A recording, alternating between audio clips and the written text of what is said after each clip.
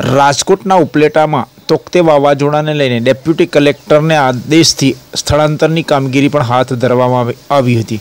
શહેર અને તાલુકાના કુલ સત્તરસો ને ત્રણ લોકોનું સલામત સ્થળે સ્થળાંતર કરવામાં આવ્યું હતું.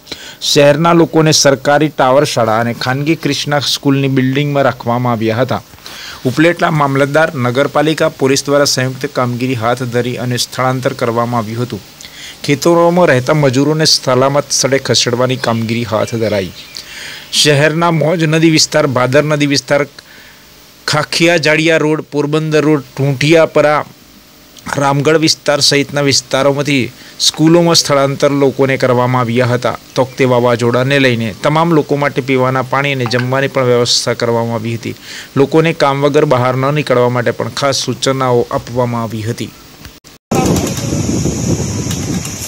બોલો છે હું જે મહાવતીય મામલતદાર ઉપલેટા આવનાર ટોપે વાવાઝોડાને અસરથી બચવા, લોકોને સ્થળાંતર કરવાની કાર્યવાહી ગઈકાલે અને આજ કરેલી.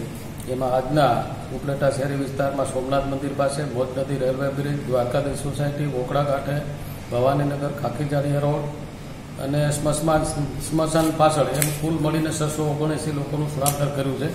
એ ત્રણ જગ્યાએ રાખ્યા છે, તાલુકા શાળા અને ભગવતસિંહ કન્યા શાળા અને ક્રિષ્ના સ્કૂલ.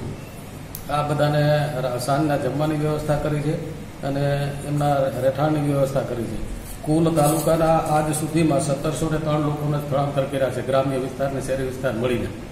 એટલે એ રીતે બધાને સલામત સ્થળે ખસેડ્યા છે- એમને એમને રહેવાની અને જમવાની બધી વ્યવસ્થા કરેલ છે.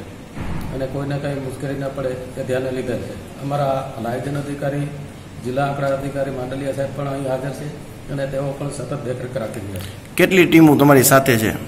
અમારી સાથે નગરપાલિકા પોલીસ રેવન્યુ આ ચાર ટીમો અમે ભેગા હતા. બરોબર? અને એ સાથે કર્યું છે પોલીસનું પણ સારું કામ છે નગરપાલિકાનું સારું કામ છે બધા સારું કામ કરે છે અને બધા દરેકની દેખરેખ અને સાફ સંભાળ લઈ રહ્યા છે.